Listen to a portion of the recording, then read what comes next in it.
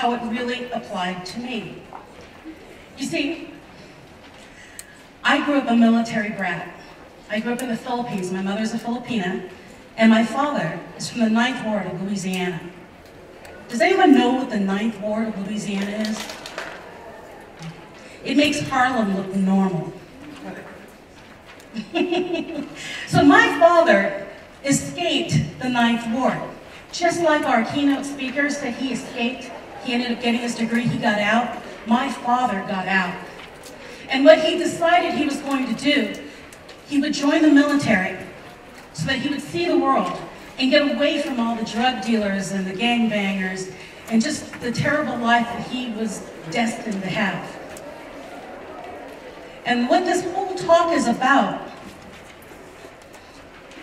is that everybody goes through hard times. And I want you to remember that no matter how hard life is for you, you can rock. Because I rock too. We all rock. What ROCK stands for is, well, we'll get to that later. ROCK is an acronym for the four things that kept me going through my life. Growing up overseas, I did not know what America was. I thought America was what I saw. We were all brown. We all walked around in shorts and flip-flops, and we accepted each other for everything that we were. We were just us. It wasn't until I came to America that I realized that I was different. And this is how I found out. My parents got divorced, and my father sent me and my brothers and sisters to the Ninth Ward of Louisiana. Now, that is like taking an innocent chicken, little duckling, and dropping it into a lion's den. I had never seen race before, and they put me into an atmosphere where I had to fend for myself. It was the first time I found out that my mother was not just American, she was some sort of white lady. I was called Zebra. They chased me because my hair wasn't tight enough. They beat me to a pulp every day. Now, normally, a person would think, man, that's really bad. I feel so sorry for you. But see, that's not how I want you guys to leave this room. Think of the positives of what happened. My father sent us to the Ninth Ward, and I learned to run really fast. I learned to climb the tallest pecan tree. I got good at it. And I decided that I was going to not be what they thought I was. They thought I was a loser. They thought I was some weirdo from an island that wasn't even bigger than Maryland. The Philippines is tiny. America's like this. Philippines. We could walk across the island. And then they dropped me into Ninth Ward, New Orleans, and I learned snap, dab, fast what America really was. There were different colors and they all treated each other differently. And that scared the heck out of me because I wasn't used to it. I'm a military brat. We were all equals. The only thing different with military was you have enlisted parents and officer parents. And that was the only thing I knew of. I learned very quickly that life is hard. And it is, it's hard. There's all sorts of things that you guys deal with, we all deal with. Health, school, life, family. And now we have gender inequality, racial inequality. There's so much. So much. Everything. Life's hard. It's really, really hard. Like the shake, I like the shake. But what I realized was you don't have to be the circumstances that you're put in. Let me back up on that. You are not what people think you are. Because if I was who I was told I was, I wouldn't be standing in front of you today.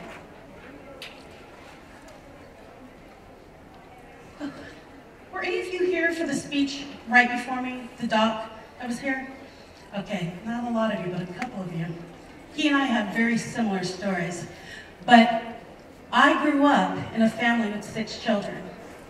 My father, although he escaped the Ninth Ward, the uh, nice version of Harlem, although he escaped and he became successful, he got his master's degree, he got a doctorate. He was a chief master sergeant in the Air Force, the highest rank you can be as an enlisted person. Although he escaped all of that, he brought his mentality with him. Do you understand what I mean by that?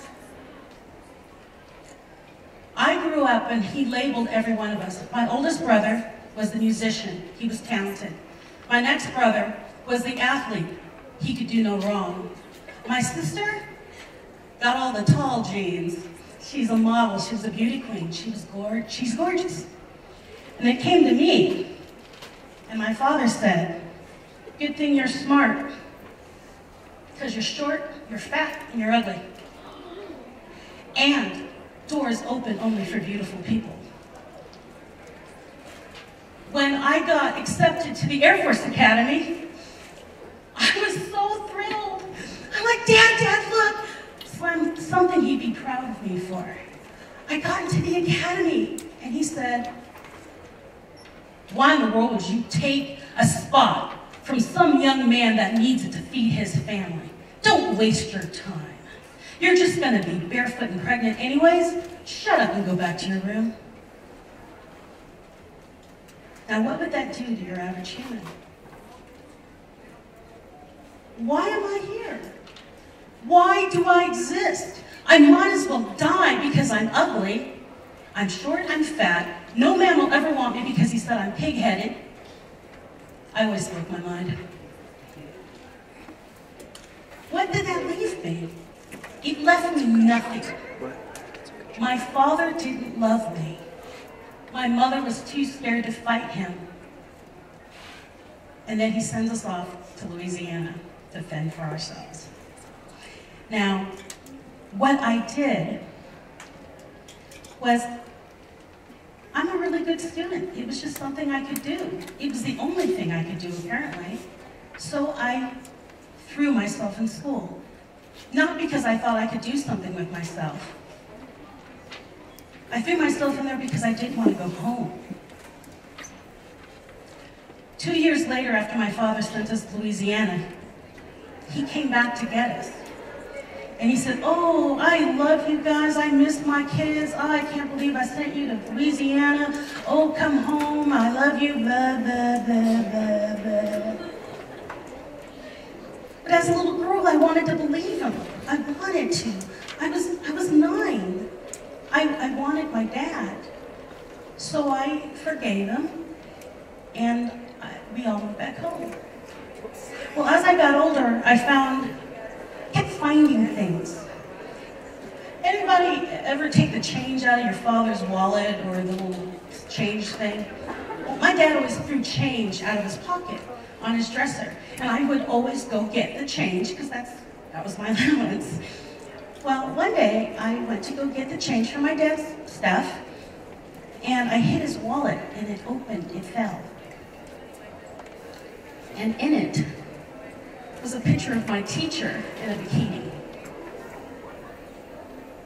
I'm nine, and I said, Daddy, why do you have a picture of my teacher? And he said, Get the hell out of my room! What are you doing touching my stuff?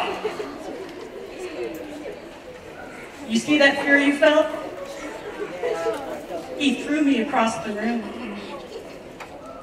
He threw me across the room because I caught him in a lie. I caught him.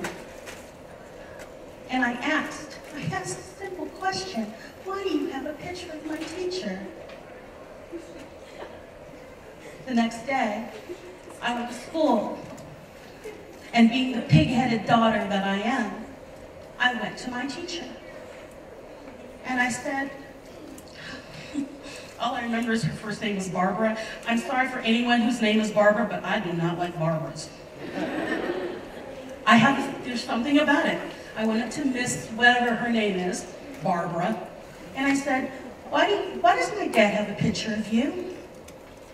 And she said, you're just a stupid little, pig-headed little girl. You are so stupid, I'm moving you back. You will never succeed in this world. That was my teacher. And I told, I told my friend, I said, I'm stupid. So what am I supposed to do? I'm stupid. And my friend said, you're not stupid. I said, yeah, I am. My dad said so. The teacher said so. And so that afternoon, I went to Mrs. Timeus's, and I say this is where I'm getting at, Mrs. Timeus's um, classroom. Mrs. Timeus had a python. She had a 15-foot python. And every day after school, I would go there and feed it chickens. Well, I'm there one day, and I told her, I was crying, and she said, what's going on with you? And I said, well, the teacher said I was stupid, and they're moving me back to first grade because I can't read or write, and I'm stupid. And she said, baby, you're not stupid. So she tested me. She made me come to class uh, after school with her, and she had me reading these books and testing me every day. And what we found out was I was actually reading and doing math at a college level, and I was only in like third grade. I was super smart. And when Miss Tinia said, now who told you you were stupid? And I told her the teacher and my daddy. And she said, well, that makes no sense. I said, well, I think she got mad because I told her about the bikini picture my dad had. Miss Timeus did not take well to that. Three days later, the teacher disappeared, and I came home from school, and the security police were at the door of my house. They had packed all of our bags, and they kicked us out of the Philippines again. This time they said my mother was a whore, our all of their children were stupid, and they carted us off again from the Philippines, the only place I really knew. Now, again, that's a lot going on for a little girl.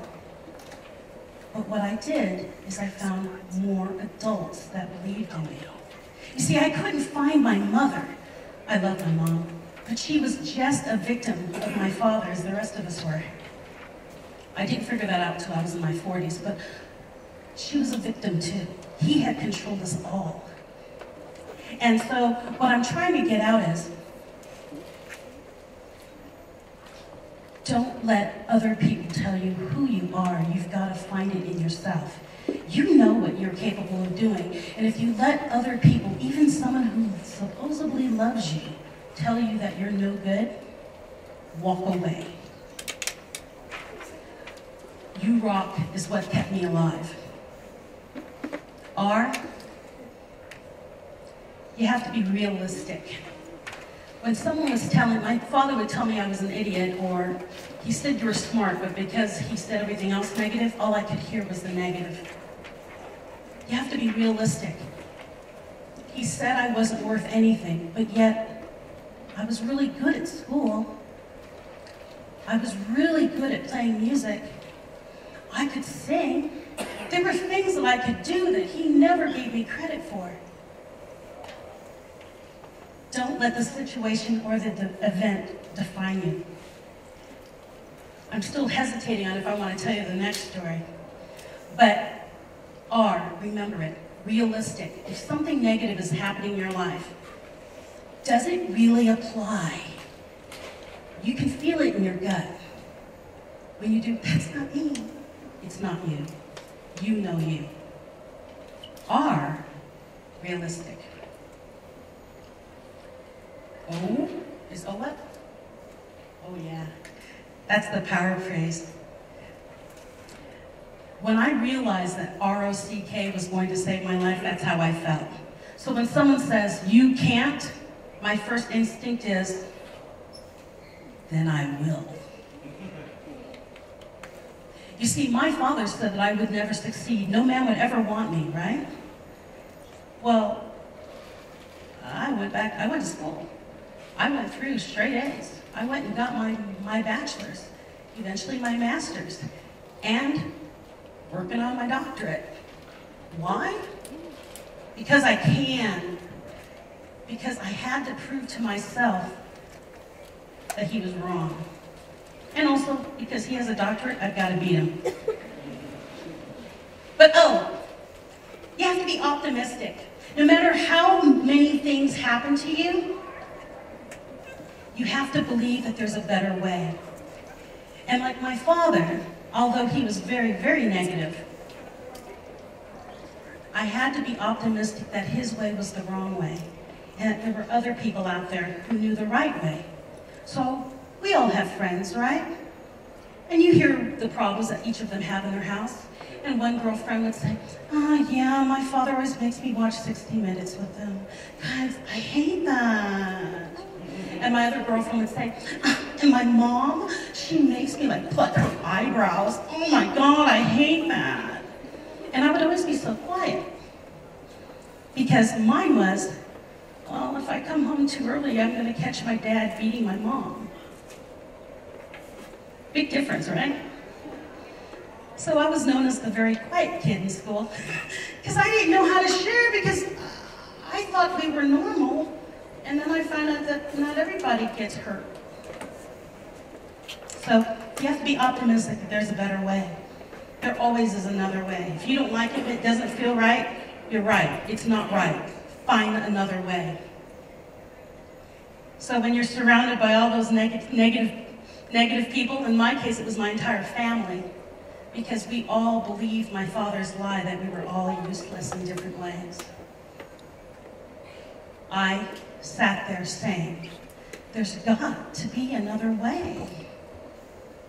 Now, don't laugh at me, but I grew up in the Philippines, right?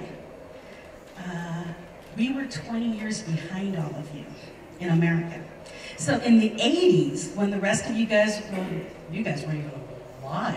but in the 80s, when the rest of the world was like going into pop music and things, we were still watching Little House on the Prairie.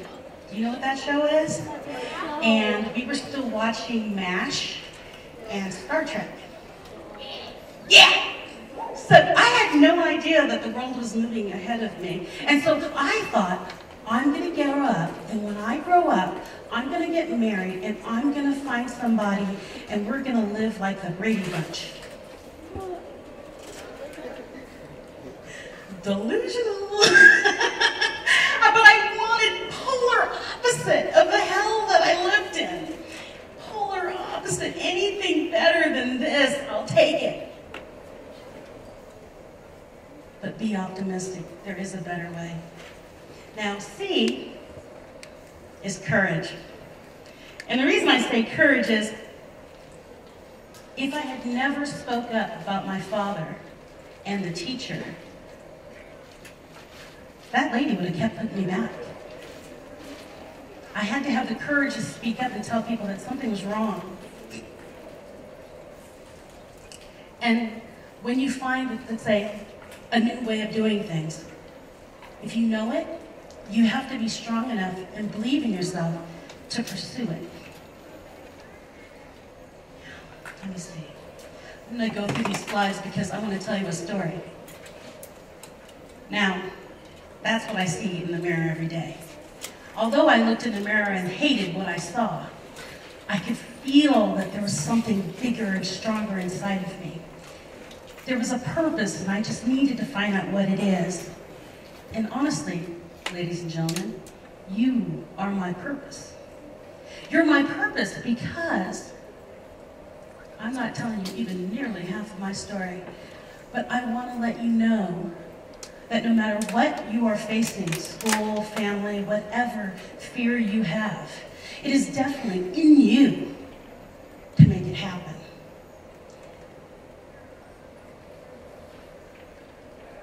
Okay. K stands for knowledge. And the reason I have knowledge in there is because no matter how terrible or wonderful an event was, you have to learn from it. Now you see, remember I said I lived in the Philippines. In the Philippines, we had two rules at school. You must wear something on your feet. Usually it was just flip-flops. And drugs and alcohol were fully rampant. And my brother was really into drugs. he was a musician. But it was everywhere. You had to make the decision for yourself, in our cases, if we were going to be part of the church crowd, part of the athletic crowd, or the smoking, drinking, drug crowd. I tried to run it all. I actually did it for a while until I realized the drug and alcohol way was probably not the good path because then I would be just like my father, right? My whole purpose in life was to not be my father. So if I did the drug and alcohol side, granted he didn't do drugs, but he definitely did the alcohol, I would be him. So I watched my friends. My job was, I made it my job, to make sure that my friends got home safely after running through the bars. Right? I took the responsibility to be the voice of logic. So whenever would say, hey, let's go to the bars, I say, we can go dancing, but don't drink. oh, Michelle, you're such a bummer. Get out of here. But someone needs to be the voice of reason in all the fun chaos, right? So knowledge. I learned that you don't drink and drive because my friends almost killed themselves. They were driving home from the base, off base, and one of them fell asleep at the wheel, flipped the car, Two of them died, but it was because they were drinking and driving.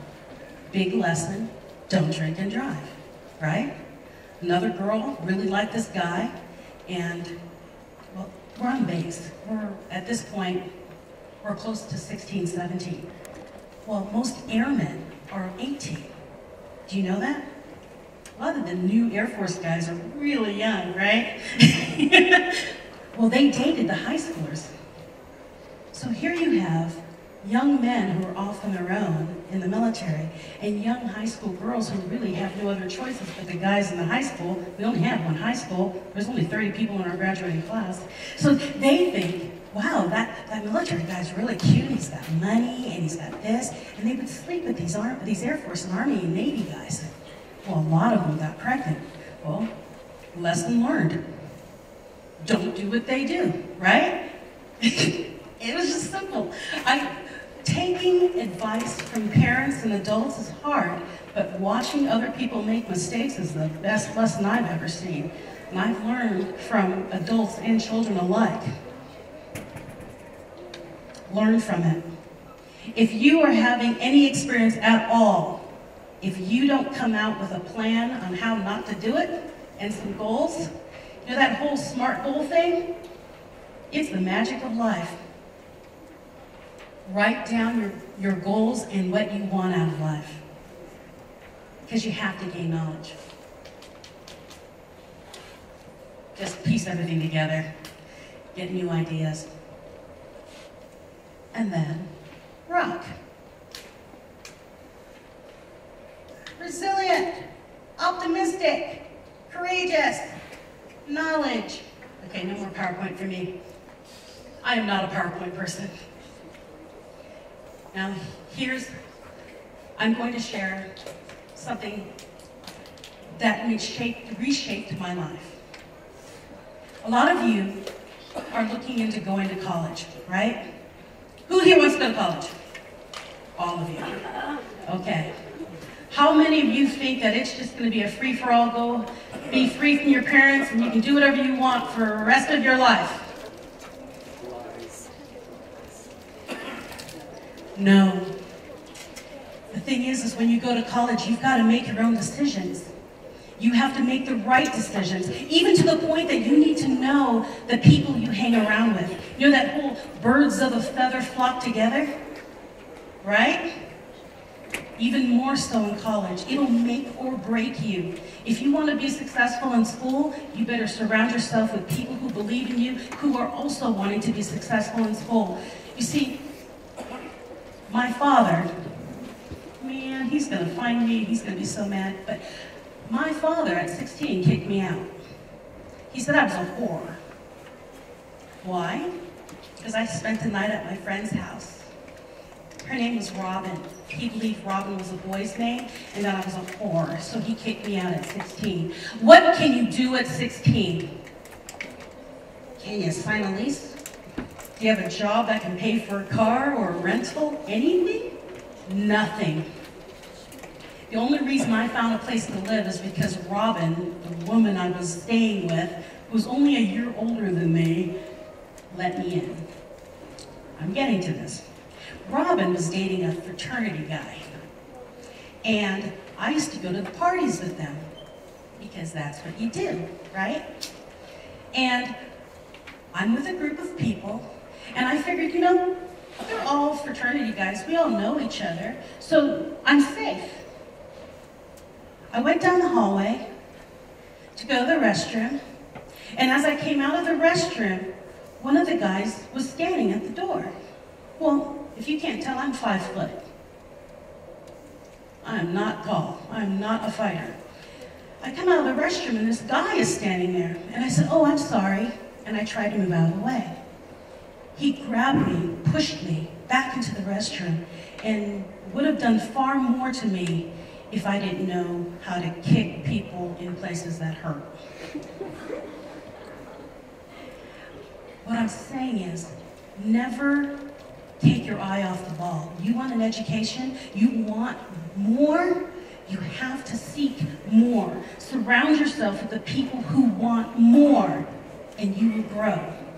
If you succumb every once in a while to the the craziness of college and the party life, which, you know, what I'm saying, live, you can go do that.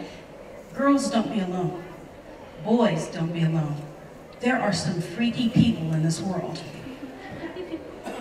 There are. Don't laugh too much. They're crazy. A lot of them are. You need to get your radar on to figure out who they are and stay away from them. Now here's the other one. To go to college because my father said that women are useless and that we should not be taking the space of a nice young man who needs the education. He refused, he, well, kicked me out. He took my military ID, so I didn't have insurance.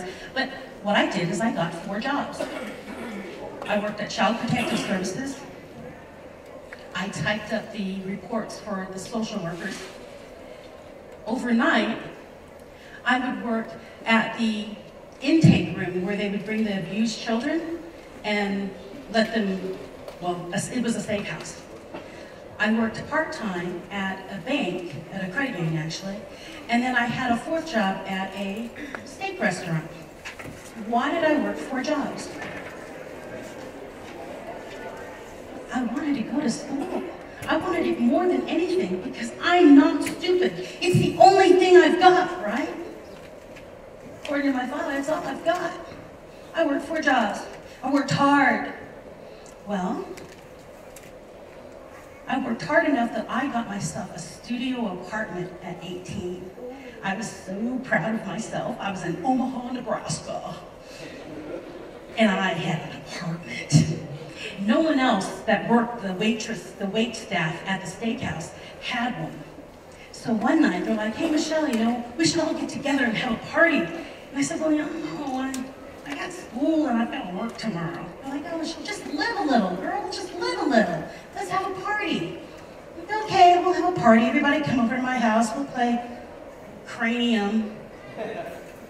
Woohoo! I'm a party animal. So they all came over and played cranium. And as we're playing cranium and the, the night gets older, I said, you know, later, I said, you know guys, it's like one o'clock and I have to be at my first math class like at seven in the morning. So if I can at least get three hours of sleep, that would be good. You guys need to go, right? Go. Everybody left. Well, Omaha, Nebraska. It's cold. There's a knock on the door. I said, who is it? Hey, it's me. Uh, I forgot my coat. can I, uh, can I come in? I need my coat. So, where's your coat? He said, I hung it up.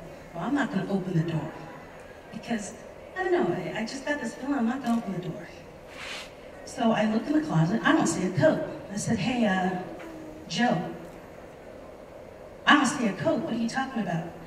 Oh, uh, I put it higher up in the closet, so uh, I'll have to come in and get it.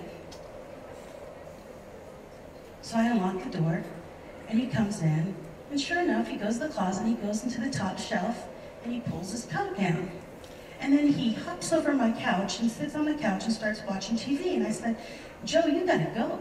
I have to go to school, and I've got you know work after that. And he says, what you watching?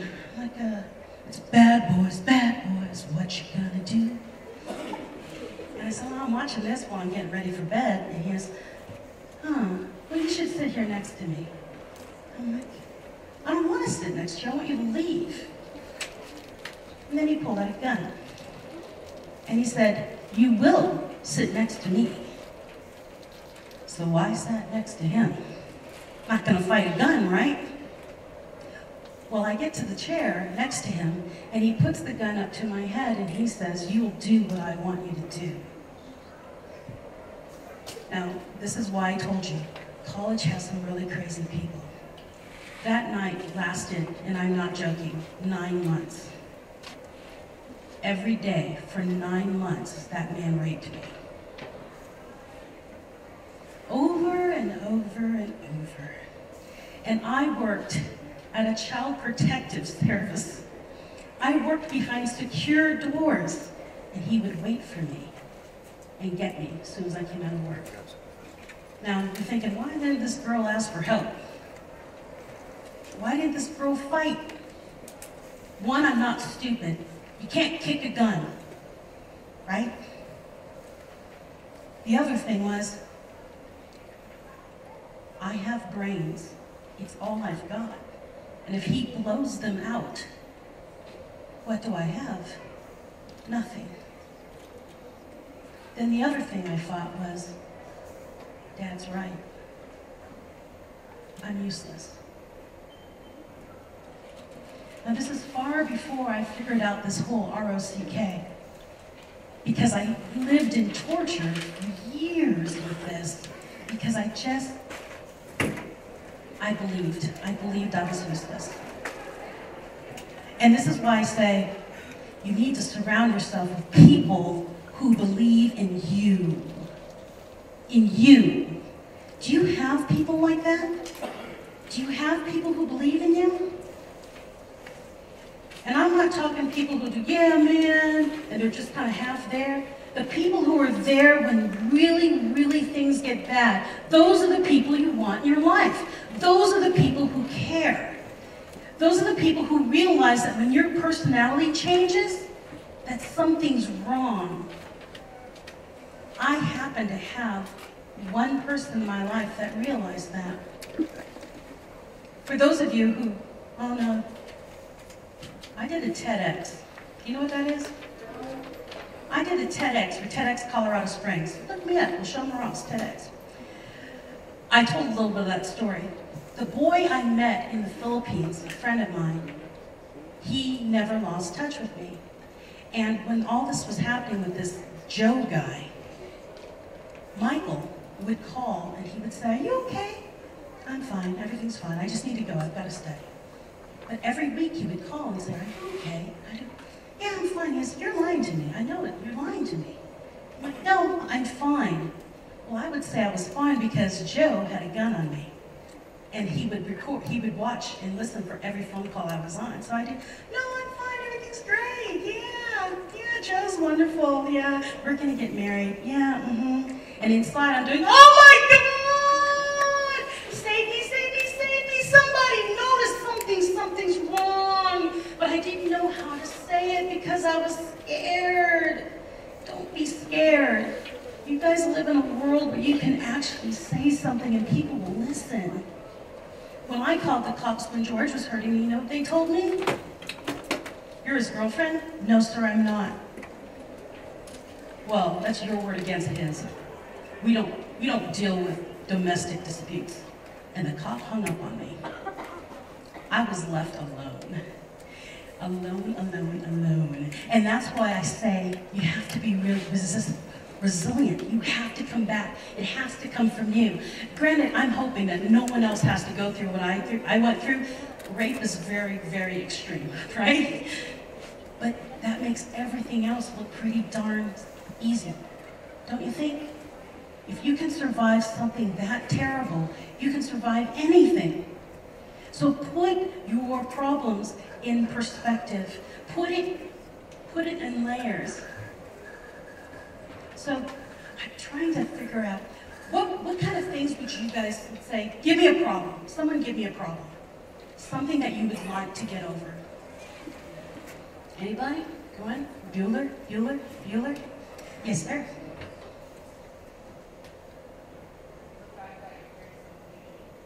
That your parents don't believe in you? A problem that your parents don't believe in you. If you want to put the rock against that, resilient, you have teachers that believe in you. You have other adults. You have people at church. You have the mailman. In my case, I had a grocery lady. I called her the baloney lady. But there are people who say and see you that believe in you. If your parents don't believe in you, find someone who does. That Michael that I told you would call and ask me what's going on, I married that man. It took me many, many, many years.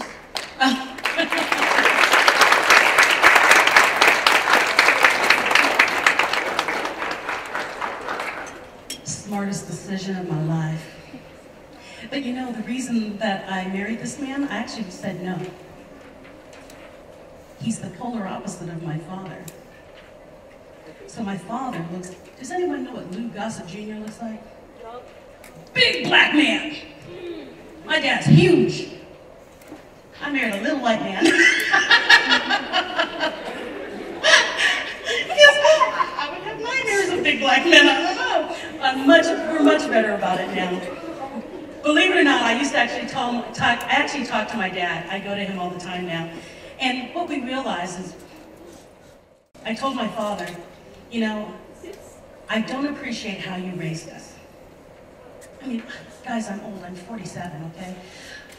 I told him, I don't believe in how you raised us. But what I realized is that when we're born, no one gives us a manual on how to raise a child. The only thing we have to raise a child is our own experience, right? So with my father, although I hated him at the time, I went and talked to him and asked him, why did you treat us like dirt? Why were we second-class citizens when all these strangers thought you were the most wonderful human in the world? Why did you treat us like this? I hate you. And he said, I didn't know better. That's the truth. He grew up in the Ninth Ward of Louisiana. His idea of parenthood was when he was 13, his mother sent him off to the levee to live with his single uncle who was a womanizer. Why? Because she wanted him out of the Ninth Ward so he would have a chance. what she did is she moved him out of family, out of church, out of anything stable that he would have had and put him in another place well, yeah, she put him in another place for the better for him, but he learned worse habits. No, he didn't do drugs and alcohol, but he learned womanizing and that women were only objects. He didn't know. And although he went through all that schooling, he's so, so smart. My father's brilliant. Common sense was not something that he was taught. You are not taught common sense in school, right? You learn common sense by getting kicked. Don't stand behind the horse, it hurts, right?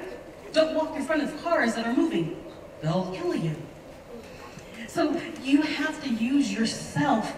You are the beginning and the end. And the people that you surround yourself is the beginning and the end. You rock because every time you have a problem, you need to reevaluate. So basically, the reason I say this is a leadership course is because leadership revolves around conflict resolution. You don't know that? Do you know that term, conflict resolution? Okay, conflict resolution, this is my simple terms, rock. When a problem happens, you look at it, you look at it in a realistic view. What are the ways we can fix this? A, B, C, D, right?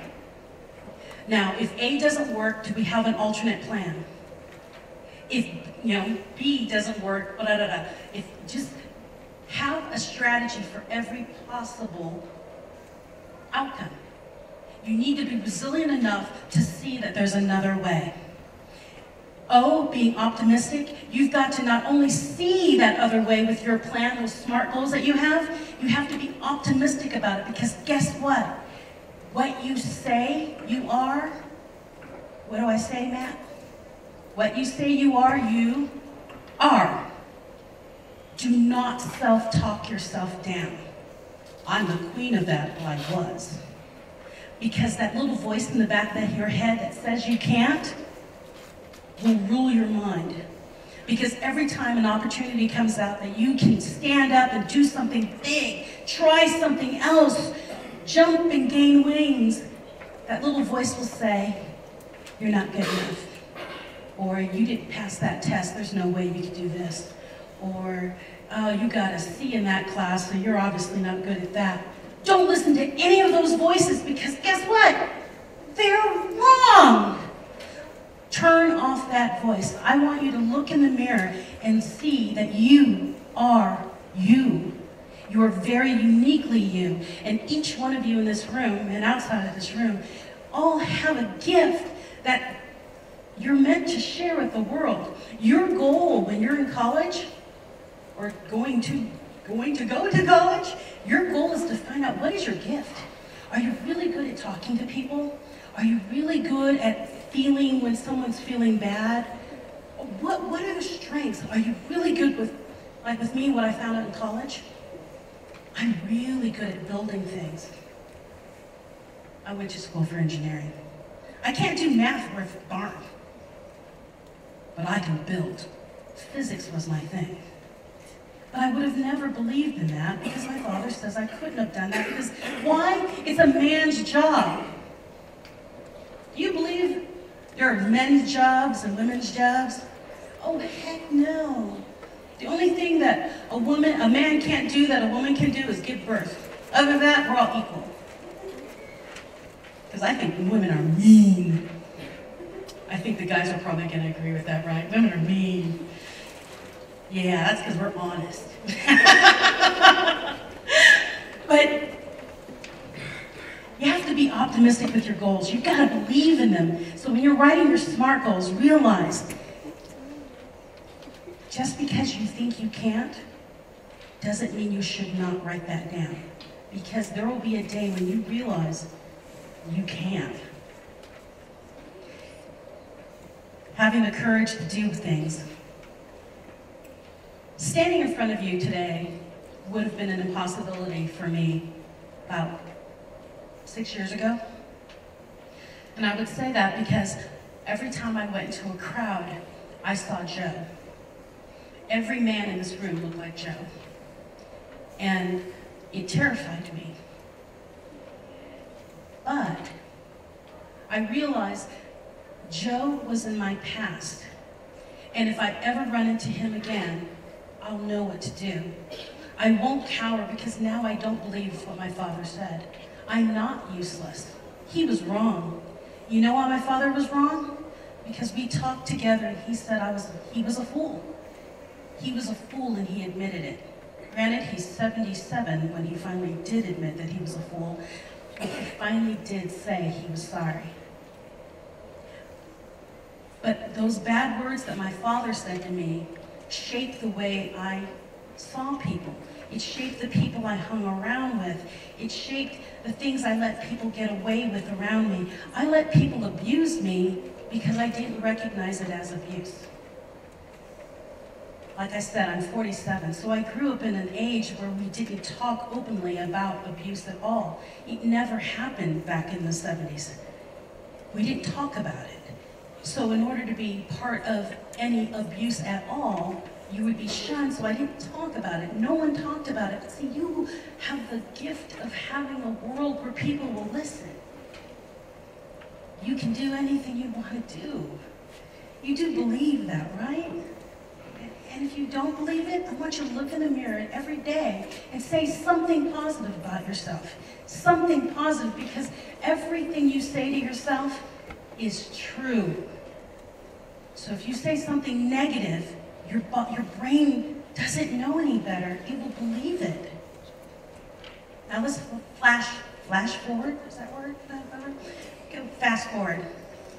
Last year, May, May 21st actually, I, I used to, I work political campaigns. I'm a writer.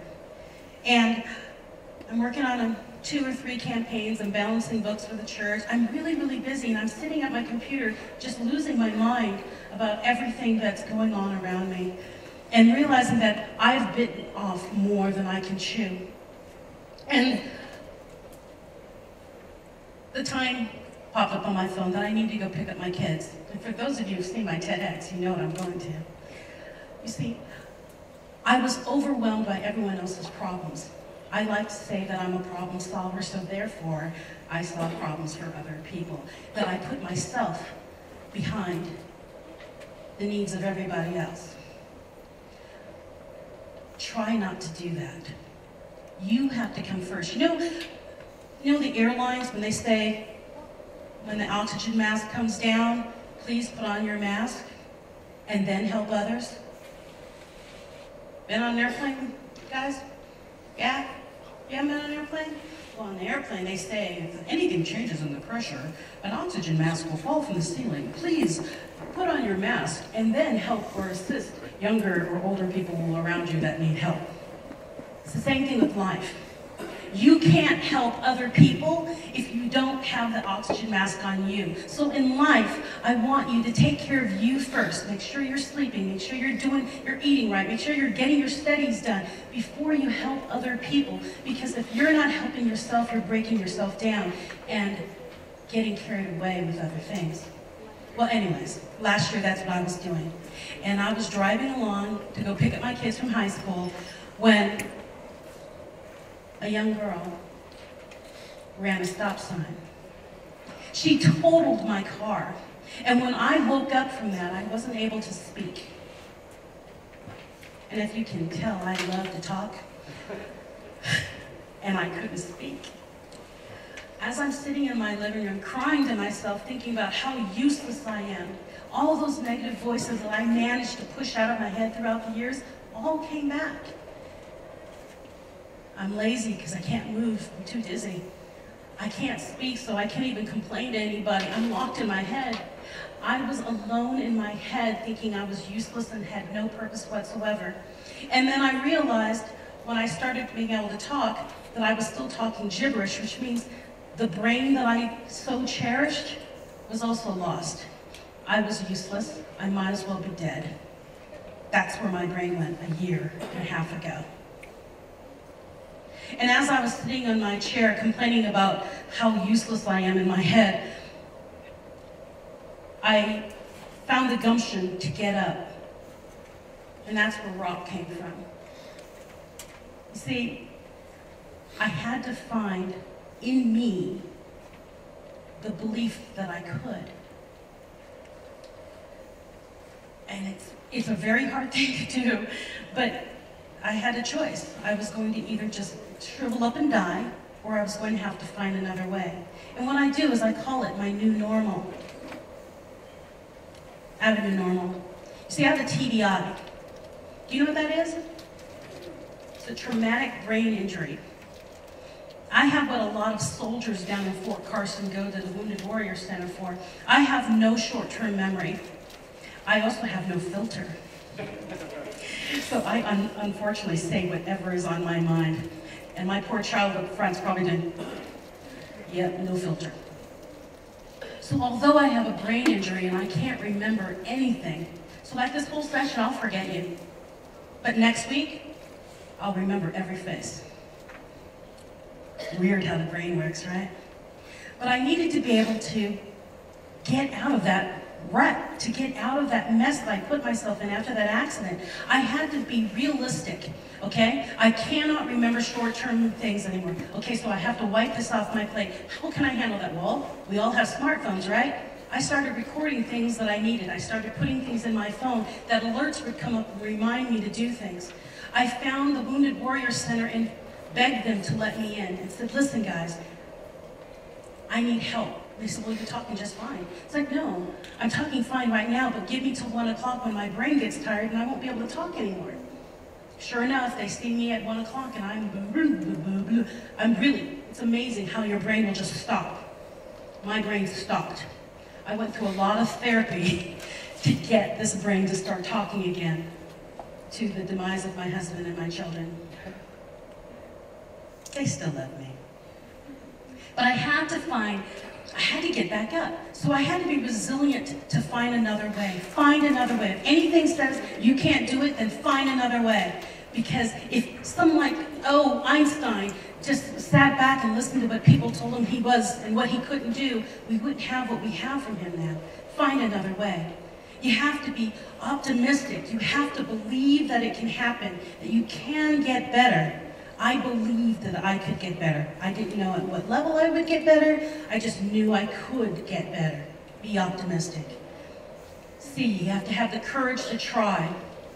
With me, I pushed myself on a limb by speaking.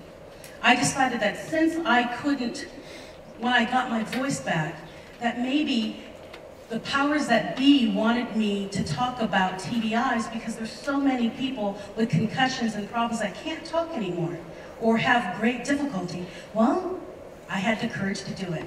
I came out here and I wanted to talk, and I did that TEDx to talk about it. Now, K is the knowledge. You gotta gain knowledge from every experience that you have. Good or bad, find, find the reason. There's a reason for everything. And even though it's a bad experience, good can come out of it. Now, what else? What? Oh. I want to make sure I finish on time because you guys have a really far hike to go through. Do you have any questions about? Yes, sir. How did I forgive my father? If that what? Oh, I forgave him. Now, the thing is, he asked me, how did I forgive my father? I forgave my father because I realized whenever I would think about the past, it hurt me more than it hurt him. Really, that was it. I would dwell on my past and go, oh, he, he was a bad dad, he hurt my mom, he was a jerk, he was a womanizer, and then I realized all that did was make me hate other people. And that's why I went to him and said, you know, I need to know why. Did you do it because you were just an evil human? Or did you do it because you just didn't know? And when we had that discussion, it was a long discussion, it was hard. I told him, and he told me, he was sorry for everything he did. And I told him, you know, I don't believe that people can change. I really don't and that I said, I forgive you for being the terrible father that you are. But what I ask of you is with your new family, not to repeat your mistake. Did you at least learn from what you've done to the six of us? And he said, yes, ma'am, I have. We have a very amicable relationship. It, it was, it's a tough thing to do. There's a hand way up there. I'm actually just finished writing a book. It's called Eat, Drink, and Be Merry. And it is about, it's actually based off my TEDx talk. So look up Michelle Moross and TEDx, and you'll see bits and pieces of it. And then my second book will be about my actual military child life and everything I've gone through. But uh, yeah, I, I, I invested in something called Dragonware so I could talk it instead of type it. Anything else? Yes? Joe? Oh my. Joe was scary. Uh, they wouldn't let me do a Omaha does not have a restraining order law. So he followed me around for many, many, we have time, right? What time? Oh, I've got time. Just a little bit. Okay, here's a story. Joe, I told you the whole gun thing. He was always with me with the gun. And Joe was very insecure. Joe, Joe wanted to be with someone bigger and better than him. He always said that I was smarter than him and where he came from, that you are the person you date. So he wanted to stay with me and he wanted me to love him and the only way he knew how to make me love him was by force. And one day I came in and I told him, you know, Joe, I love you. He said, oh man, Michelle, I'm so glad you love me. You finally love me. I said, yeah, I love you. But you know, you don't need that gun anymore. And I asked him, you know, if you sold the gun to my brother, we could run away together. And so that next day I said, we need to go to church because that's where my brother's going to be. We went to church and my brother came up to hug me and I hugged my brother and in his ear I whispered, buy the gun, don't say anything. And my brother just looked at me. George came back. He said, hey man, I've got a gun to sell you. I was wondering, you know, how much would you give me? And my brother handed him $500 and took the gun. Now my brothers know me. And as I went into church, I noticed that my brothers and Joe never came in. Then I noticed the pastor leave. What I found out was my brother did not know what happened to me, but he knew I wanted that gun out. And so they jacked him up and told him if he ever came near me again, that they would never find his body.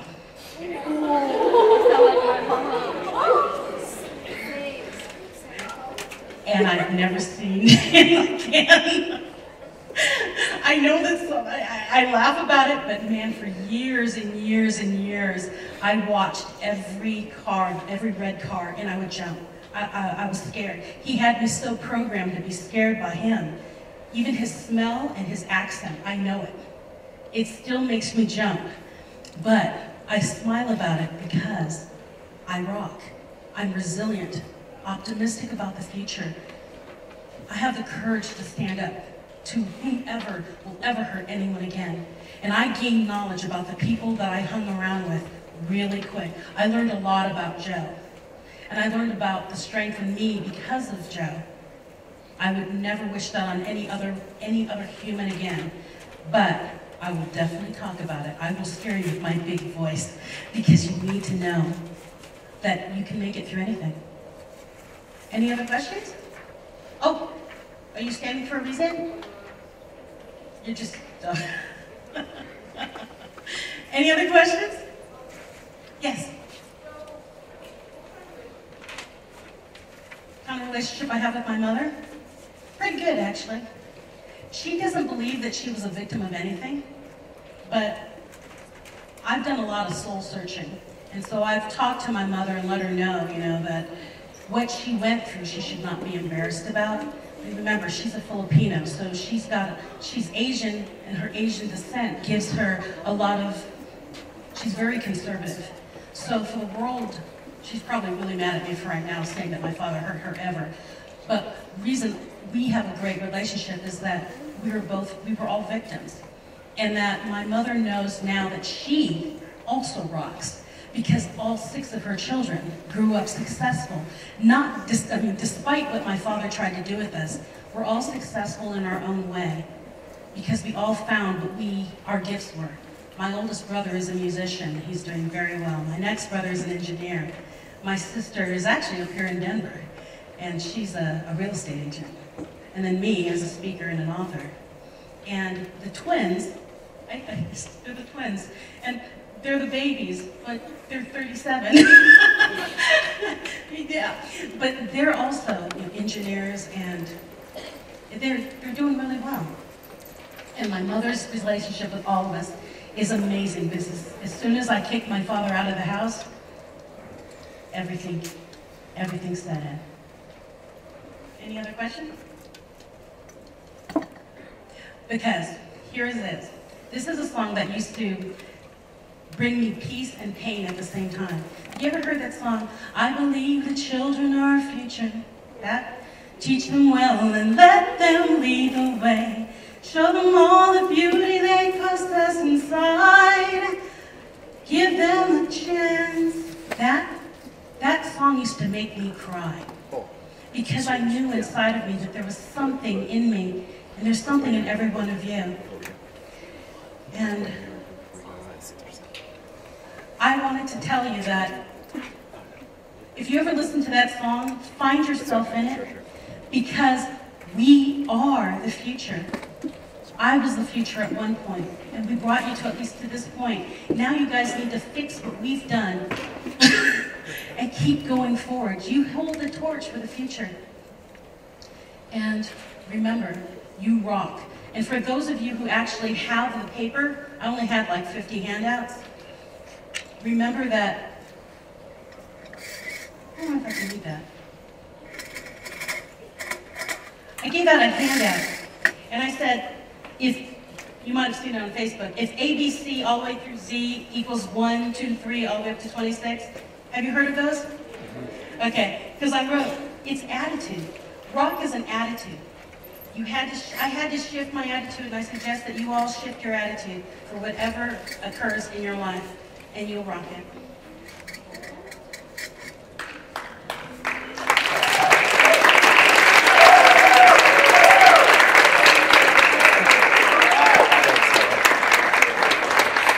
And Sarah just asked me to have you all bring the, what are those? The questionnaires? Oh, if you can bring the evaluations down here to Sarah in the purple shirt.